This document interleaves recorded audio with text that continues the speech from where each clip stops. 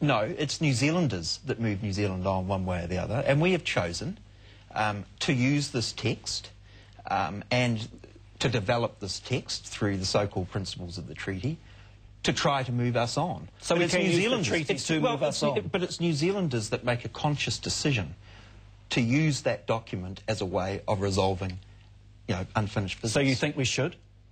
Well, it seems to me we're going to have to have some way to resolve what continue to be issues between Maori and Pākehā um, and, and issues between different, different iwi.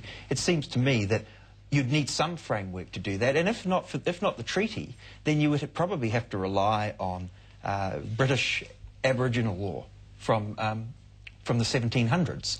You would have to find something as a way of beginning your conversation, and the treaty's got to be as good as anything. Let's go to the studio audience. Phil O'Reilly, your thoughts? I think I'd take a slightly different approach about the role of the treaty. I think, in a sense, if you say working for families is more important, well, I, I don't agree. I, I think that belittles the treaty if that is what you're saying.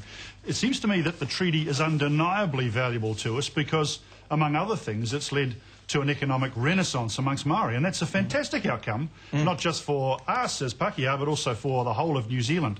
The issue for me is I think if we say, well, it's one of a number of competing issues working for families, ETSs, and so on, I think we might belittle it so much that it becomes uh, yet another issue of division. I think that it is quite a central part of New Zealand, although there are those other issues that, that, uh, that are very important Look, to I, us. I would say in response to that, that what Hana O'Regan was talking about in terms of its overwhelmingly positive influence on New Zealand over the 30 years, everything she said is absolutely right. And I would say that some of the problems that have emerged from the treaty industry um, that uh, Stephen has talked about, they're absolutely right. And there's no doubt that the Treaty of Waitangi and our process of using it um, to bring New Zealand forward to some, some extent is, is, is vitally important. But if we look to that document, either by saying, oh, that's, the, that's what's holding New Zealand back, that's what's made us poorer than almost any other developed country in the world, that is plain wrong. Equally, it's, it's not going to be the treaty that's going to reverse that problem. Madeline Flanagan, your thoughts? I accept the fact that we have the treaty. The treaty is not going anywhere. It's it's it's part of our constitutional law and it's in a historical document in our country. But the issue I think is really key here that um, some people have hit on is the importance of um, recognising it as a legal document and understanding that legal interpretation and the proper rules around that is what's really important. I mean, a moment ago we had Hana saying that when you see something beautiful, Lane, she used the example of, of, of Maori language, you can invoke the treaty to have the state take property off other people. And I mean, surely that, that's counterintuitive to the to the original word, you know, the whole point of the treaty and some of the disputes that have risen out of it. I mean, there needs to be clear and critical thinking about the proper legal interpretation of this document, and, and, and that's crucial. I mean, just making it be whatever you want it to be is, is not how you do law. But we don't. The courts will interpret things differently. The way in which the courts will interpret the Magna Carta or the Bill of Rights 1688 in a judgment in 2010 is undoubtedly going to be different from the way the courts would have interpreted those documents some time ago. So things do evolve. Um, our judges, I think, unfortunately, but it is a reality that our judges tend to be activists and develop the law, but that is something that we just have to live with. But they're guided by jurisprudence. They're guided by centuries of jurisprudence. I mean, when you're talking about land law, you're, you're going back to the writings of Accursius in the 13th century that have come right through um, English common law and, and through the, um, the laws of uh, the the acts that brought that common law into New Zealand and then, you know, into, into common law in New Zealand today. But, I mean, it hasn't departed hugely from but the it. Law Whereas, around whereas the, the, law around the Treaty of Waitangi has really only be, begun to develop um, because of what was probably a mistake of Sir Geoffrey Palmer's, putting um, the principles of the treaty, that phrase, in the State-Owned Enterprises Act 1987. Now, from that point, the, that gave a licence for the courts to look at the document and explore it. That's, that's only been uh, you know, 20-something years. You can't expect to, for the courts to have precisely uh, reached an agreement on what the treaty might mean in today's context in Shane, the way that they can for the um, for me. for the for Okay, the like okay, okay. actually, well, um, we will move it on. I Robert. think this is moving back. I'd like to pick up on the practical thing that Phil mentioned before, because I work and have worked with the treaty for the last 20 years in all areas of New Zealand society. And I can testify to the fact that, that there are tens of thousands of Maori and Pākehā working together in health, in education, in justice, in the prisons. Not everything will succeed, but there's a huge conversation going on on the ground in New Zealand that I think is very practical, where the treaty is the vehicle for that conversation. It's changing policy, it's impacting on all those systems. Um, and I see the treaty uh, as an immensely practical document that's actually achieving a huge amount for uh, a large number of New Zealanders. Another view. Anne Candy, your thoughts? Um, I come from the point of view that that um, the treaty needs to be a living document in everyone that lives in this country. And, and, and, and that's the message we need to pass on to our mokopuna. I'm actually here for my mokopuna. My life's, you know, near the, the, in the last phase, in the twilight hours.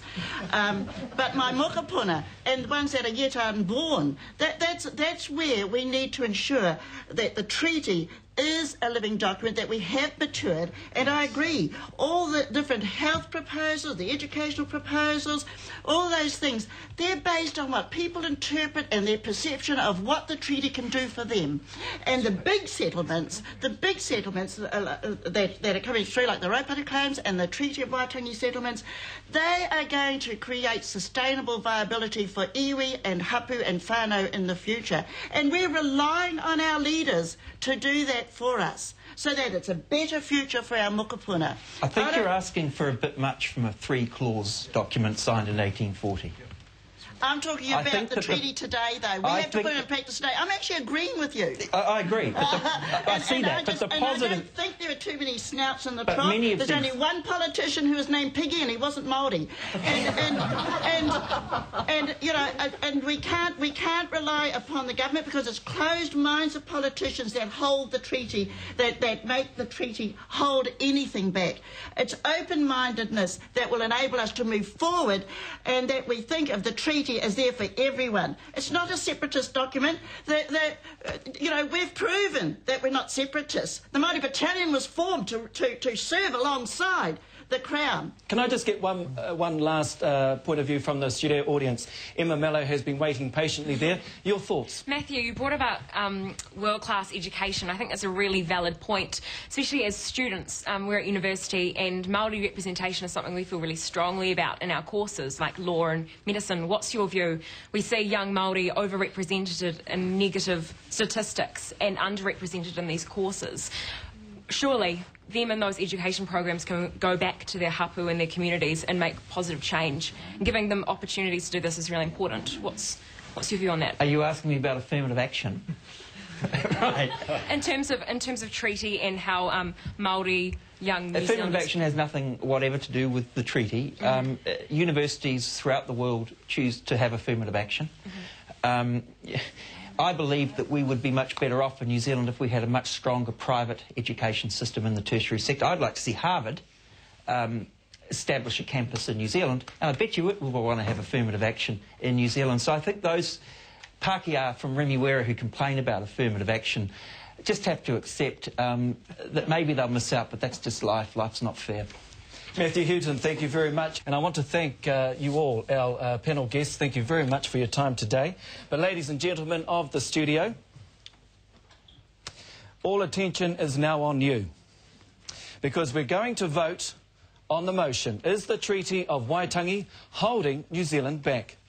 Before you make your decision, I'll explain how the process works. In front of you is a small electronic device. Now, if you think the Treaty of Waitangi is holding New Zealand back, please press the green button.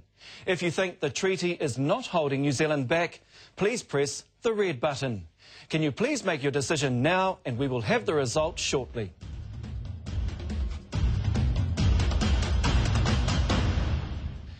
Ladies and gentlemen, we now have a result. An overwhelming 65% of you are against the motion. 35% agree with the motion. So the motion is lost. The treaty is not holding New Zealand back.